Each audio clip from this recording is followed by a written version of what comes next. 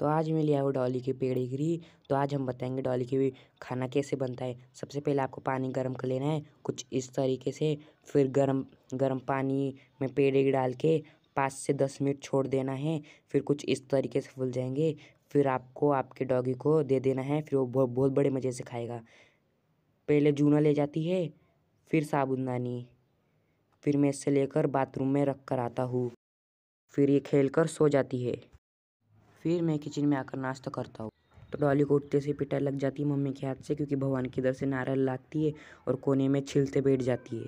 तो अभी बज रहे साढ़े पाँच और मैं बाहर आकर देखता हूँ कि सूरज रोशनी दे रहे वो भी बहुत तेज़ वाली। तो अभी बज रहे शाम के छः और डॉली का दवाई का टाइम हो गया है। चलो अब डॉली को दवाई दे देते हैं। तो मैंने अभी नीचे रख दी है तो अभी आके पी लेगी। तो आज का ब्लॉग यहीं ख़त्म होता है, मिलते हैं नेक्स्ट ब्लॉग में। तो तब तक के लिए बाय।